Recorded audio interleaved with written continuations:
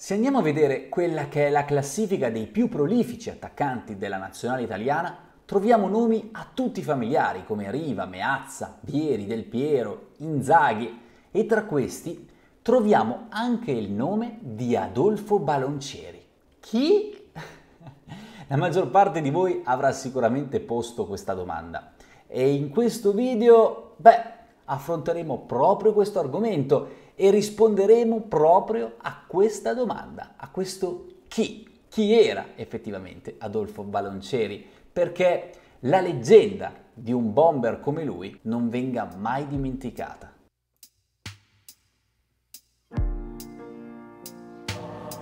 Ballon, ah Ballon, con questa frase super nostalgica, gli anziani alessandrini di qualche decennio fa, che avevano avuto la fortuna di vederlo giocare, ricordavano le gesta del grande Adolfo Baloncieri, il capostipite della rinomata scuola alessandrina, il pioniere del ruolo del regista nel gioco del calcio. Nacque nell'estate del 1897 a Castelceriolo, un piccolo sobborgo nei pressi di Alessandria, e nel 1907, come tanti altri, si trasferì con la famiglia in Argentina in cerca di fortuna. E fu proprio qui, nella patria di quelli che saranno in futuro due dei del gioco del calcio come Messi e Maradona, che il giovane Adolfo iniziò a tirare i primi calci ad un pallone precisamente ad Arequito, città della provincia di Santa Fe. In terza elementare aveva avuto un maestro che aveva iniziato a far giocare durante l'intervallo quei bambini, procurandosi,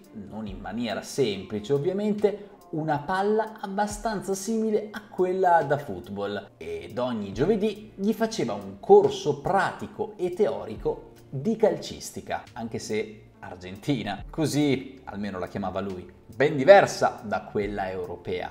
Nel 1912 la famiglia Baloncieri fece il ritorno nella terra d'origine. Pare che la madre sentisse troppa nostalgia per l'Italia e nonostante i genitori non fossero d'accordo con la sua nuova passione calcistica, esportò nel bel paese quello che era il pensiero del calcio argentino nel circuito calcistico alessandrino. Nell'antica piazza d'armi a Porto Marengo, ora nota come Piazza Genova, una traballante staccionata di tavole in legno delimitava il recinto entro il quale si dispiegava il rettangolo di gioco e qui si radunavano giovani di ogni età, grado e condizione per partecipare ad una disputa quotidiana, affascinati dal crescente fascino del nuovo sport. E un distinto signore, l'inglese Smith, si mescolava tra loro, dispensando consigli e suggerimenti in qualità di esemplare educatore ed eccellente istruttore. E quando il giovane Baloncieri si presentò timidamente a Smith a 14 anni, esile e mingherlino, quest'ultimo lo scrutò attentamente e lo mise alla prova. Dopo aver ottenuto l'approvazione, il giovane cominciò a dimostrare il suo talento, diventando presto un protagonista fra coloro che gli si paravano davanti. Soddisfatto della sua prova, Smith gli chiese: Ma da dove vieni, ragazzo? Dall'Argentina, signore. E da quel momento si guadagnò il soprannome di l'americano. Come scrisse di lui anche il giornalista Alberto Fasano, quando Baloncieri cominciò a farsi notare, era un giovane smilzo, con una faccia da cinese, l'occhio furbo, un sorriso a mezzo labbro. Le doti che fecero subito stacco furono l'intelligenza tattica, l'intuizione personale e la prontezza di riflessi. E l'esordio con l'Alessandria in prima categoria, l'odierna Serie A, avvenne il 6 dicembre 1914, ad appena 17 anni. Fu mandato in campo per sostituire l'indisponibile della casa contro l'Andrea Doria, partita terminata sul 2-2, e secondo il giornale Osservatore si impressionò un po' troppo. In quella stagione giocò un altro incontro, Alessandria-Milan 0-0 del 28 marzo del 1915. Era la partita decisiva per entrare nel girone finale e i grigi mancarono all'obiettivo. Si ritrovò infatti titolare in sostituzione di Bosio, il quale proveniente da Torino sbagliò la coincidenza dei treni, ritrovandosi ad Asti. E secondo la Lega Liberale, un giornale dell'epoca, la sua prova però fu insufficiente forse ancora troppo giovane e acerbo per quei ritmi e quei livelli. Nel frattempo scoppiò la prima guerra mondiale e Baloncieri giocò tre partite nella Coppa Brezzi e descrisse così quel periodo. Vi fu la guerra con i suoi orrori, i suoi lutti e le sue miserie. Molti giovani erano stati chiamati alle armi, parecchi non fecero più ritorno alle loro case. I reduci, induriti dalle fatiche, dalle privazioni, dai disagi, sentirono prepotente il bisogno di ritemprare fisico e nervi, dedicandosi ad uno svago libero e salutare come il calcio.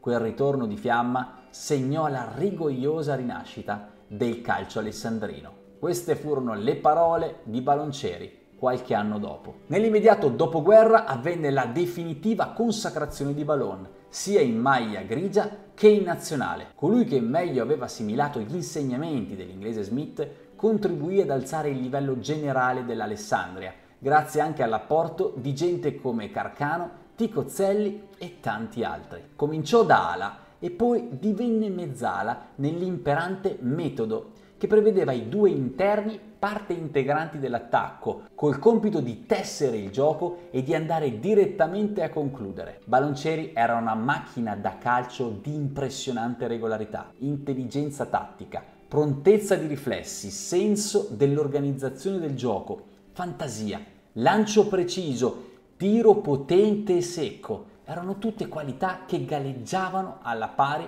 sulla superficie di un'adesione totale alle ragioni della squadra. E in breve tempo diventò l'idolo del campo degli orti, il trascinatore in cui i tifosi invocavano Ballon all'anello, all'anello, per incoraggiare i suoi proverbiali tiri all'incrocio dei pali. Fu celebre infatti un suo gol al Bologna, con addirittura i complimenti finali del giovane Angelo Schiavio, Nell'estate del 25 il presidente del Torino, Marone Cinzano, gli fece una corte serrata. La trattativa andò in porto con l'enorme cifra di 70.000 lire a favore dell'Alessandria. Baloncieri e l'Alessandria si separarono quando egli aveva solamente 28 anni, dopo 11 anni insieme. E le ragioni, come egli stesso ricorderà, erano molte e nessuna in particolare. Dopo tanti anni di buone prestazioni, era normale che una sua giornata storta portasse a critiche non troppo gentili. Lo si riteneva spesso il principale responsabile, il capro espiatorio dell'intero collettivo, in quanto uomo simbolo della squadra. Sentendosi incapace di affrontare da solo il peso e la responsabilità attribuitagli, senza l'aiuto di tutti, decise di cambiare situazione scatenando una reazione molto negativa nella piazza. Ricevette insulti e disprezzo,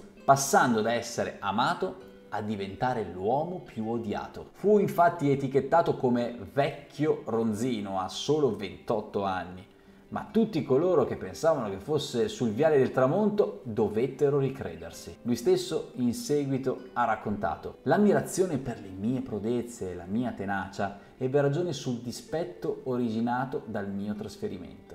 Dal 1920 al 1925 avevo all'attivo 22 presenze in maglia azzurra e dopo il mio passaggio al Torino, dal 25 al 30, ne collezionai ancora 25. Quindi avevo una carriera ancora davanti. Ed effettivamente gli anni nel Torino furono ricchi di vittorie e lo furono anche in maglia azzurra. Con l'Oriundo Libonati e lo Spezzino Rossetti formò un trio formidabile e soprattutto prolifico in zona gol, che lo portarono ovviamente ad alzare sempre di più la sua media realizzativa in nazionale finché appunto non riusciamo adesso in questo momento a vederlo nella classifica dei top 10 calciatori che hanno segnato di più nella storia dell'Italia. Vinse lo scudetto del 1928, dopo che quello del 27 era stato revocato a causa dello scandalo Alemandi. In nazionale collezionò 47 presenze, partecipò a tre Olimpiadi conquistando il bronzo ad Amsterdam nel 28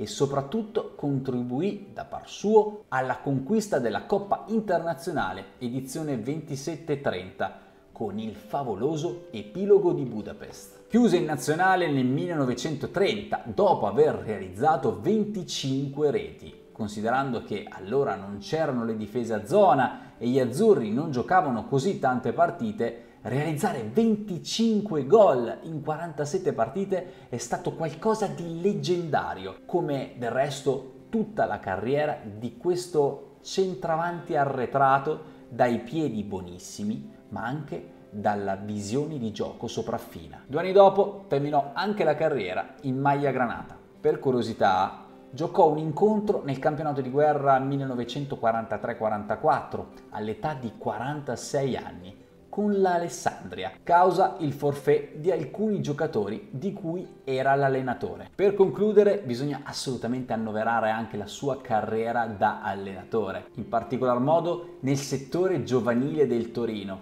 dove i suoi giovani ragazzi vennero soprannominati i Ballon Boys, che dal 1928 iniziò a produrre campioni in serie, diventando una scuola di vita oltre che di tecnica e ponendo le basi calcistiche per la nascita di quello che sarà in futuro il Grande Torino. Insomma, Adolfo Baloncieri è stata una leggenda italiana, ad oggi ingiustamente poco ricordata, che merita assolutamente di essere iscritto nell'albo d'oro degli immortali del calcio.